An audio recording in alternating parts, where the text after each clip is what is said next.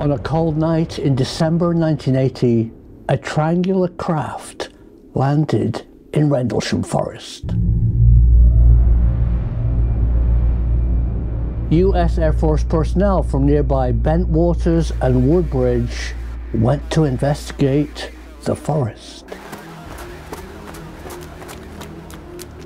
Jim Penniston encountered the strange craft.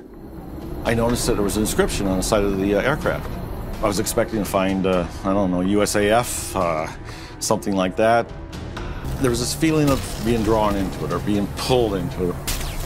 Like someone was holding a picture of, of zeros and ones in my mind's eye. That he said began to transmit binary code inside his head. I don't doubt Jim's personal experience, but it begs an answer to a very big question.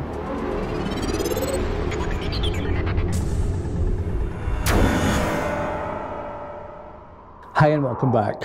Why would aliens use binary code? A system of counting adopted by IBM to get round the cost of building mechanical calculating machines.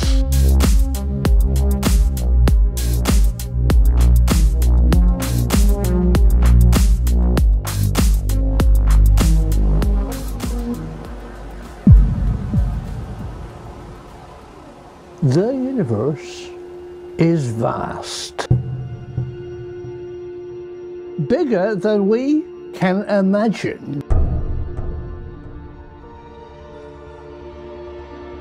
Even our galaxy is huge.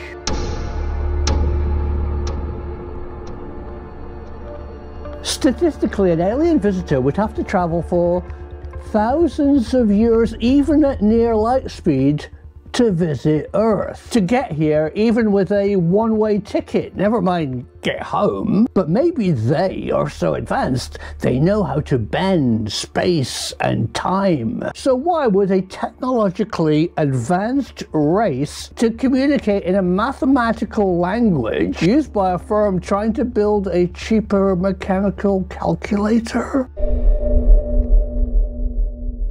That is the type of big question I enjoy asking for you. I will try and answer it later, but first, let's dive in to how humans count.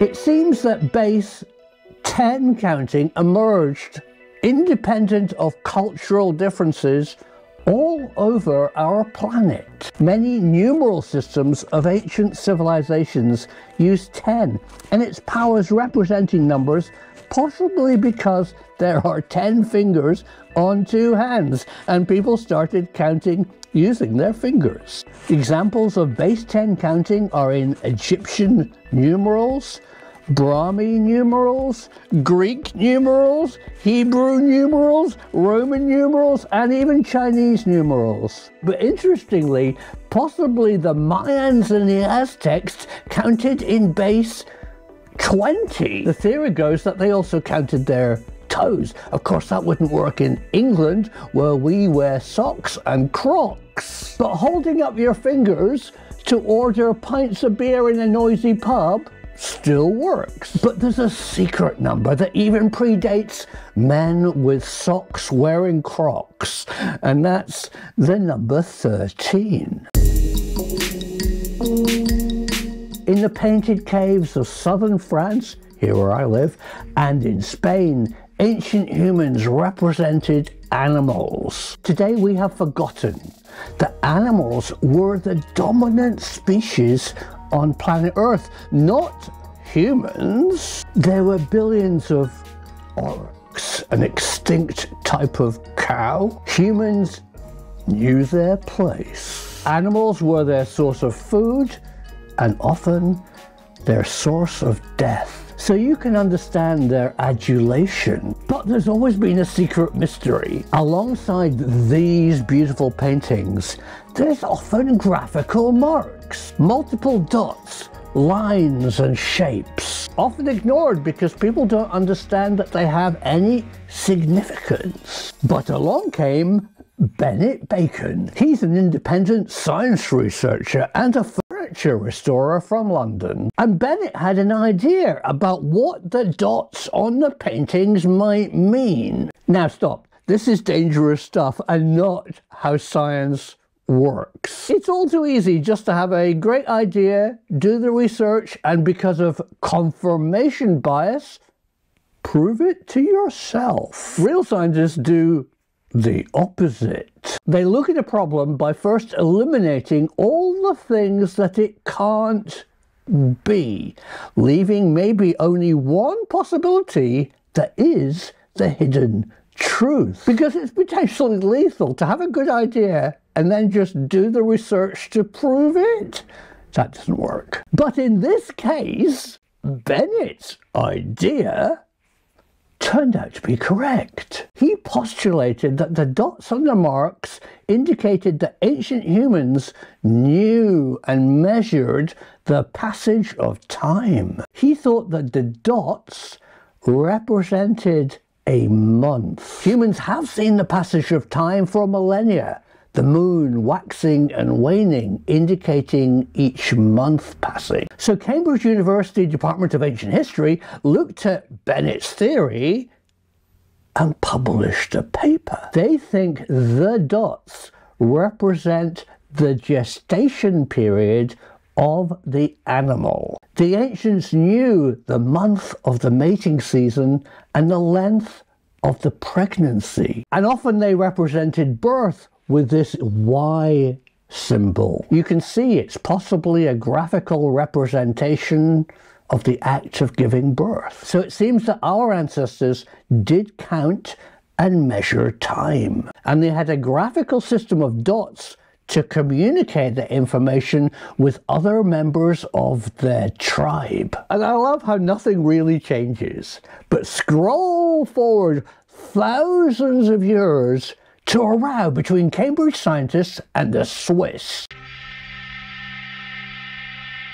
Ernest Rutherford had built this, his gold foil alpha particle experiment at the Cavendish Laboratory in Cambridge. He was using it to explore the inner nature of the atom. The current theory was that atoms were meatballs or plum puddings of solid stuff. They're made of bound together subatomic particles. So a lump of gold would just be a plum pudding hugging each other to make a solid gold metal. Rutherford's experiments fired alpha particles through a sheet of solid gold foil. And what he observed is amazing. Over 90% of the alpha particles went right through the gold foil. A tiny number were deflected at an angle, and an even tinier number bounced right back. What was going on? Of course, you know.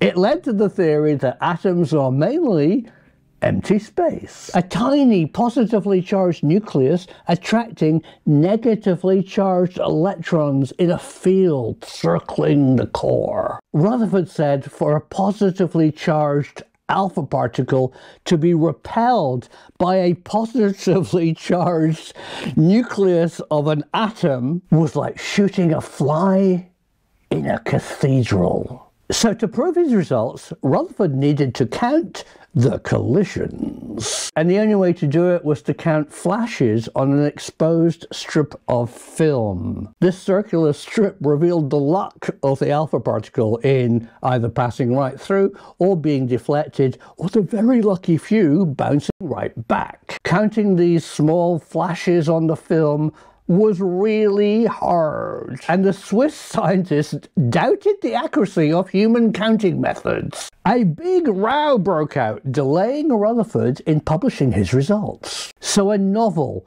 non-human counting method was required. Enter Charles Wynn Williams. CW worked with Rutherford and proposed a hands off electronic counter that could settle the row. If in the 1920s he could build one. Amazingly, the equipment budget of the Cavendish Laboratory in Cambridge was severely limited. But a generous British vacuum tube manufacturer had donated seven of their new devices called Thyratrons. Thyratrons aren't in fact a vacuum tube. Although they look like one, they use a tiny amount of noble gas to make a very fast switch that could be used to make an electronic counter. The next part of this story is one of my favorite parts of human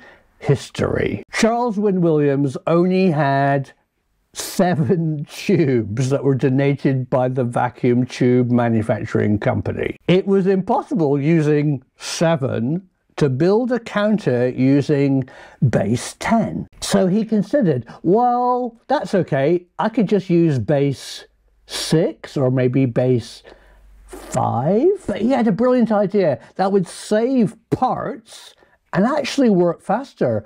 Why don't I count in base 2 binary code? Less thyratrons, faster counting. It worked! Because of the Cavendish Laboratory's restricted budget, Charles Wynn Williams invented the world's first binary counting machine. It went on to record all the alpha particle collisions. The Swiss accepted the results because Charles's counter eliminated human error. And the true nature of atomic structure was revealed. The simplicity of the simple on and off binary counting idea became the modern computer silicon chip we have today. Integrated circuits now make millions of printed transistors that replace the vacuum tube thyratrons first used in Cambridge. So let's get back to Rendlesham Forest. Why would an alien nation contact a human in binary code. A system invented to beat the Swiss, save the Cavendish Laboratory money, and be exploited by IBM to get round the problem of building mechanical base 10 calculating machines. Hey, it's me in the future. Come and join me as I uh, feed the sheep. What we can learn from Jim Penniston's experience, and very much from John Burroughs' experience at Rendlesham, is really important. Jim's perception of what happened, the way that messages were sent inside his head, and John Burroughs' health effects that were initially classified by the US Air Force. Both are enormous clues to reveal the true nature of what really happened at Rendlesham Forest. I'm working with these people and other science researchers to try for the first time to really solve this mystery. I think when we understand what happened at Rendlesham it will open a door that for the first time we can look behind. The truth is out there.